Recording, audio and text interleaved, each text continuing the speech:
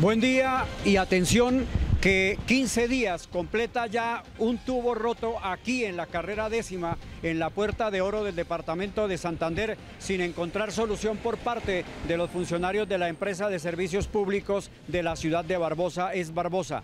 Aquí hay un reguero de agua, una fuga de agua, desde hace aproximadamente 20 días y pues se ha llamado varias veces a la entidad correspondiente, la Barbosa, pero nunca han venido, han venido varias veces a tomarle fotos pero hasta ahí llega la solución. Antes se dañó eso. Yo no sé, no me acuerdo cuánto hace, cuánto tiempo, y dejaron mal arreglado y otra vez vuelve otra vez a dañarse el mismo sitio.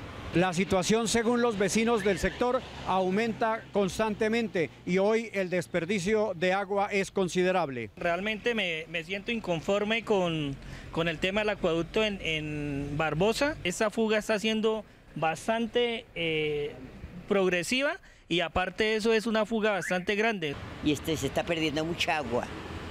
O sea, para abajo la gente no le está cayendo agua. Problemática es que aquí perdiéndose el agua y hay unos sectores que llevan hasta 5 o 6 días sin agua y ahí como se dice que no hay agua, que, que el acueducto no tiene, ¿por qué no arreglan los daños? Barbosa se encuentra desde hace por lo menos 15 días en siete sectores residenciales sin servicio de agua potable, mientras que aquí, según los vecinos, también hace 15 días se encuentra un desperdicio que no ha sido solucionado.